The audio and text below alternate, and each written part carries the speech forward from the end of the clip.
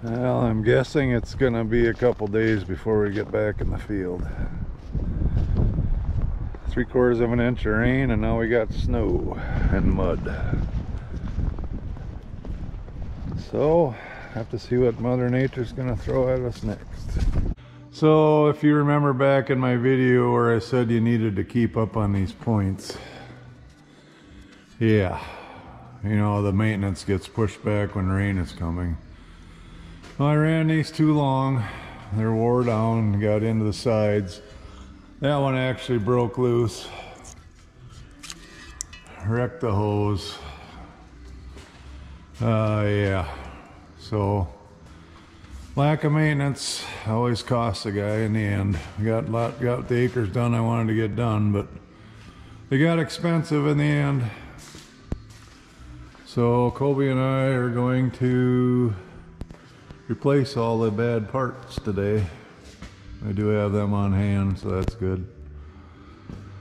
But with snow outside and uh, we're in a 60 degree no wind environment with the sun on, so we'll get after it. Old parts, new parts. We got three rows done. That is worn, oh, I got the whole life out of them. Let's see how paper thin this, these are now. It's supposed to be like that. So yeah, we ran them, we ran them right to the end. Didn't get into the fertilizer tube though, which is good. We're gonna give it one more try. I think we have today and maybe tomorrow. Oh, tractor crypto bar so dirty. But we're going to give it a try. Putting on fuel. let you know how it goes. Now it's November 17th. Trying to uh, finish up corn stalks going to beans with a potash blend. Uh, it's a little tacky out here, but it seems to be working pretty good. So I think we'll just keep her going. Looks like we got maybe today and tomorrow. And then 19 degrees for lows uh, it's supposed to warm up in the 40s at the weekend but I don't know if that'll be enough to thaw it out again to go. But uh, 400 acres to go. So any little bit helps. We'll keep after 6.15 in the morning see how the day goes. I Don't know if you can see that, but I am running really low on uh, fertilizer. And of course I have no truck with me in this part of the field, so I don't know if anybody else has to do that, fold up and go get your own products. One man band. I guess I guess I should be glad I have product in the field somewhere.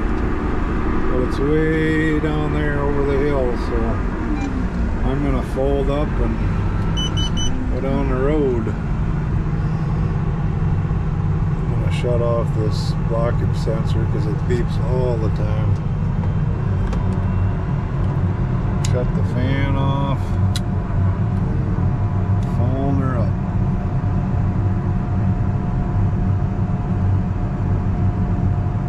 Slow when you're in a hurry. We're on Bauer time right now. It's going to get pretty cold tonight. I don't know if we'll be able to run tomorrow or not. I don't know if you can see these little numbers, but there's a lot of 30s and 19s in there. Tonight is a low of 27. So that is not very good for ground. Working ground, that's for sure. I think our days might be limited. It is uh, 46 on Saturday, but that's after two night nights of 19 degrees. So, I guess we'll go until we can't see straight and then see what tomorrow brings. Got 120 acres left in this field and 83 at home. And then I will be done strip tilling. Covered every acre. That'll be good. Got all my fertilizer on. Because you don't want to let that go this year if you got it bought because it's not going to get any cheaper. November 18th. Uh, it must be a sign that we're not supposed to be out here. Fertilizer truck over there. Elevator brought me out one. Wouldn't start this morning. Had to jump that. Now I got the auger out and it won't go down. So I don't know if there's the levers froze or something wrong with that. But I don't dare fill because I do not have any GPS today. Can't get it to come on. So we are doing a another seven minute shutdown for some relay. It won't let me get to the you know you're liable for uh, running through a fence if you fall asleep page where you have to accept the guidance. It won't let me get to that. So here we sit. It's uh, about 25 degrees out. There's about an inch of frost already. So I don't know. Maybe it's a sign. But I could have finished strip tilling today. Now another quick update this morning. Got that truck working. The valve must have a little ice in it. That's working okay. Truck's running Still no GPS. That's supposed to be green. I got satellite signal. And then the crazy part is, they said, well, check a fuse. So I go through every one of these books, three books. There is nothing in here about fuses. So I don't know if they've renamed what a fuse is anymore. I don't know.